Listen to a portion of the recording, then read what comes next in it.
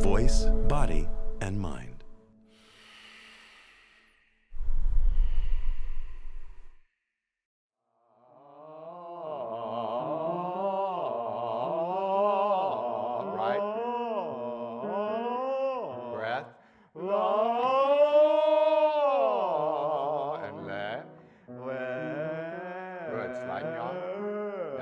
My name is Ron Anderson. I'm a voice teacher.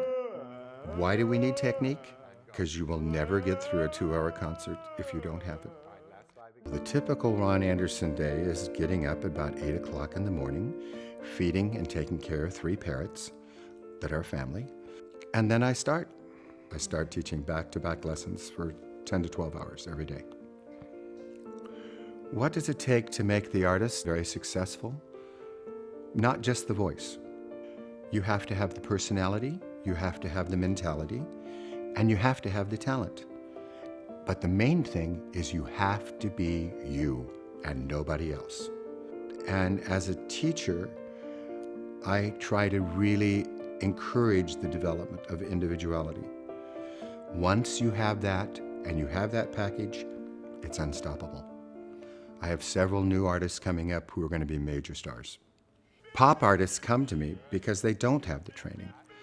And once they start to achieve the training, the registrations open up, the range grows, and the voice goes to where it should go. Now, in the classical world, we've already got that kind of training. We have to take care of our bodies, take care of our voices, watch, be careful not to get sick. And I bring that back into the pop world. I worked with Pink many years ago, and she was really just becoming known. She was an amazing girl. She was very strong-willed, uh, very opinionated of what she was and how she was, and she was right on the money. She knew exactly who she was and, and how to go there, especially in performance.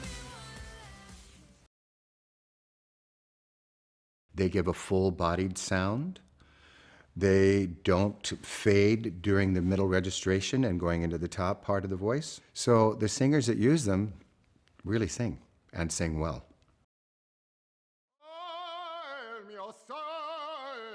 What the human voice has that no other instrument has is the flexibility to say words and the flexibility to sing those words with a great deal of feeling and a great deal of passion.